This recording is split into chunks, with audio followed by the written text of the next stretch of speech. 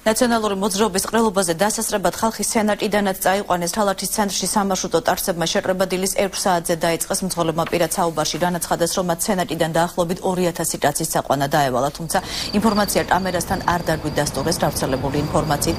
პეტერბურგის ყრილობაზე დაუსწრებლობის შემთხვევაში სამსახურიდან დათავისუფლებით დაემუხნენ. ნაციონალური მოძრაობის წარმომადგენლებს სიებით ჰქონდათ სადაც მოსახლეობის აქტივობას ინიშნებდნენ სენატში დღეს 10-მდე სამარშრუტო ტარსი და რამდენიმე ავტობუსი цаრიელი დარჩა შესაძლებელი მივდივარ ყოველდღიურად ყველა სად აბა ან ძანგაგად